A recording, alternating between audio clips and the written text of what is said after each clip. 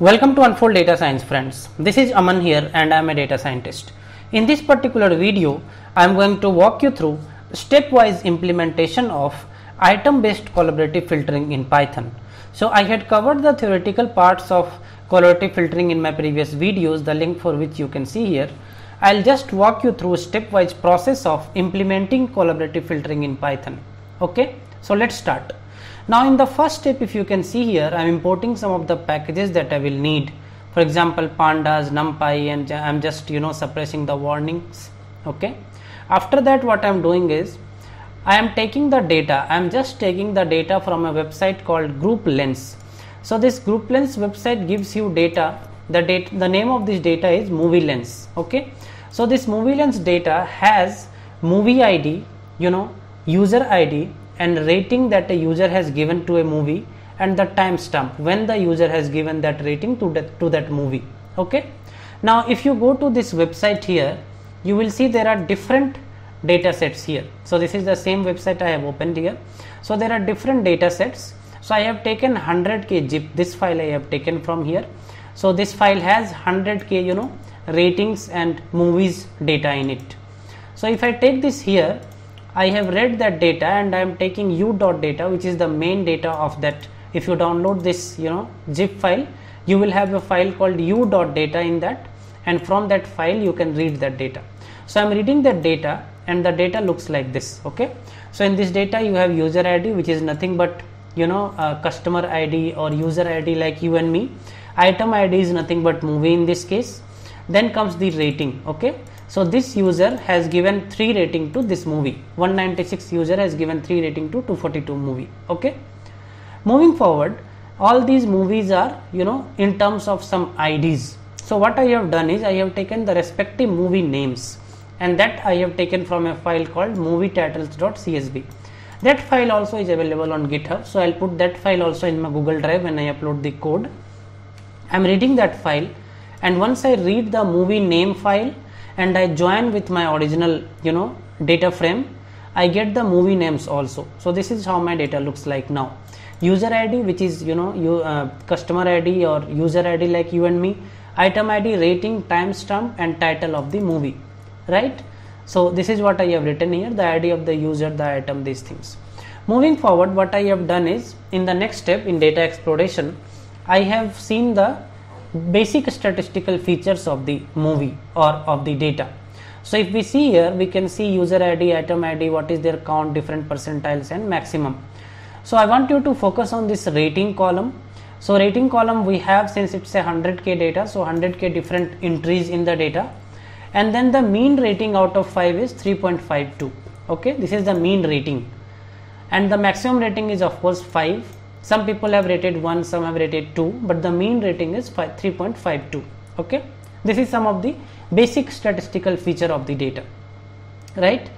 Now what i have done here is i have created a data frame called ratings where i want to capture the mean rating for all the movies. For example this movie till there was you would have been rated by n number of users. So what is the average rating of this movie by those n number of users? So i am taking a group by and taking the mean so now I have a rating database. So this movie's average rating is 2.3. Similarly, what I have done here is I want to see which movie is rated how many times. Okay. So it is quite possible that a famous movie would be rating so many times, but a non-famous movie will not have those many ratings, right? So what I am doing here is I am taking the ratings count, how many times the movie have been has been rated. Okay. So that is what you can see in this column here.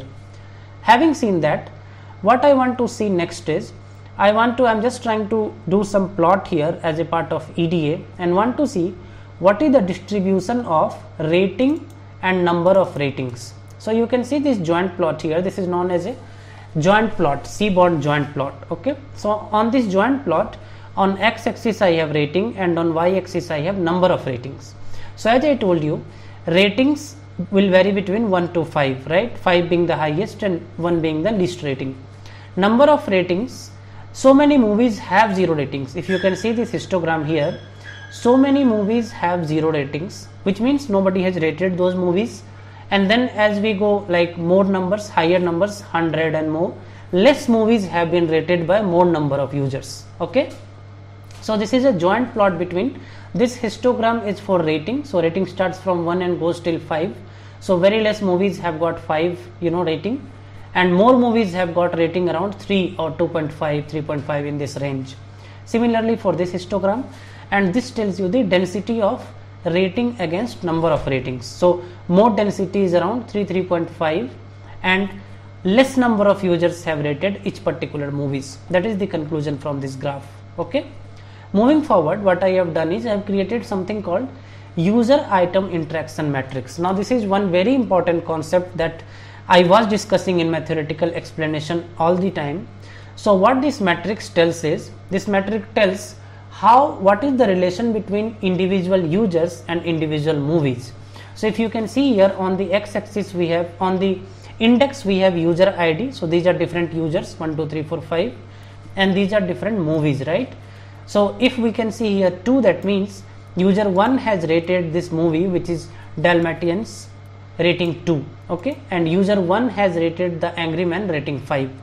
So that is what this matrix tells us. Now one thing to note here is lot of entries in this matrix are NaN or blank. The meaning of that is all the users do not go and rate all the movies right and hence these NaNs are there. So how I have created this matrix? Simply by taking the pivot table of my original data frame. Okay. So now I have this table. Now what I am doing here is I am creating a rating. So the rating data set which I had created before, I am just sorting it to see which movies has highest number of ratings. So Star Wars 1977 has highest number of ratings. Okay.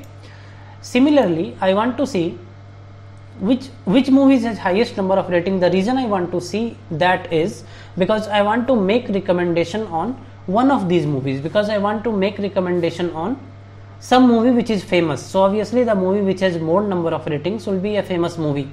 So from this list star wars contact fargo return of jedi from this list i am taking a sample movie fargo.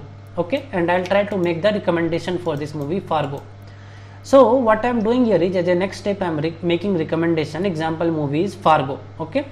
So what I am creating is I am from the movie matrix that I created above I am taking the Fargo data separately okay. So this Fargo user ratings will have the rating of movie Fargo by different users okay. So this is how you can see it. So user 1 has rated Fargo 5 and similarly okay. Now once I have this data what I will do is I will go and see which movies are similar to Fargo movie on the basis of rating. Now this is really important guys. Fargo has been rated in a particular way by the users. So which are the movies which have been rated in the similar way by other users. So what I am doing here is I am computing a correlation of the original data with Fargo rating which means Fargo ratings will be one column and one correlation will be calculated with all these movies. Okay? So if you come here i am just creating a correlation matrix here with the function corrwith okay? So i'll get similar to fargo. So these movies are similar to fargo whatever is listed here. Till there was you 1900 101 Dal, dalmatites 12 angry men 187 so these movies are similar to fargo with these correlation numbers. Now obviously we can see some negative correlation here negative value here because correlation value can range between minus 1 to plus 1 but what we are interested in we, are, we want to make the most meaningful recommendation. So how i do that i will just go and create a threshold for minimum number of ratings so what i want to do is i want to recommend the movies which are beyond a certain number of ratings. Okay? So what i am doing here i am just creating a pandas data frame of the above created you know output of similar to fargo. Okay? And then I am bringing in the ratings number of ratings column from the ratings data set that I had created before. So what I will have is I will have correlation of Fargo with all these movies with number of ratings okay number of ratings for this particular movie. So what I will do next I will just put a filter on this column. So that is what I am doing. I am saying give me the movies in recommendation only if that movie has number of ratings more than 20. When I do that I see Smiles Like Yours A 1997 has a correlation 1 with Fargo and number of ratings is 25 Fargo itself obviously will have one correlation. This is not meaningful. Fargo we cannot recommend against Fargo. So the third option is House of the Spirit 1993 correlation value is 0.70 and number of ratings is 24. Similarly, if you want to increase or decrease the threshold, you can do here. So I want to see only the movies for which number of ratings are more than 30 now. So the best recommendation for Fargo will be Aves Bios this movie. Okay, 64 number of times it has been rated. So this is how item based recommendation system works at high level guys.